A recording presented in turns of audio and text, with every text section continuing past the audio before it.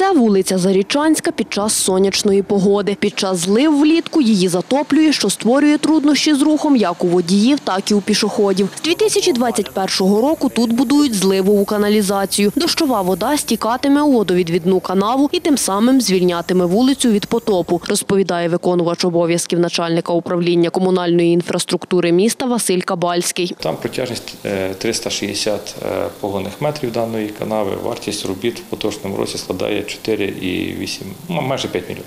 Ремонтні роботи із відновлення дорожнього покриття планують завершити до кінця серпня, говорить майстер виконроб Володимир Манзелевський. прокладуються значить, труби ливньовки. Через певний період, через певну відстань прокладуються, установлюються колодці смотрові, щоб в процесі можна було продивитися, проконтролювати деякі засори і все остальне.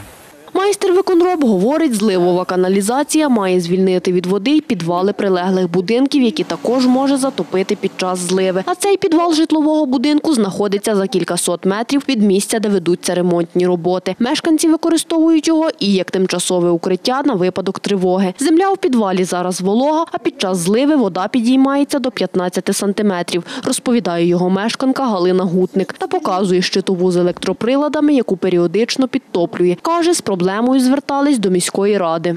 там той колодязь, який є на дорозі, він не справляється і вода повертається до підвалу. Була і відповідь, і там написано, що потрібно добудовувати допоміжний колодязь, тому що вода не ви в низині, а вода не справляється. Укриття ми зробили, але там каналізація підтоплює укриття і під час тривоги, що куди нам ховати, що в воді стояти. Під час дощів так само топить і саму ділянку вулиці, каже Галина Гутник. Відколи тут проживаю вже 34 роки, то дійсно в чобітках йдемо, а машини зупиняються.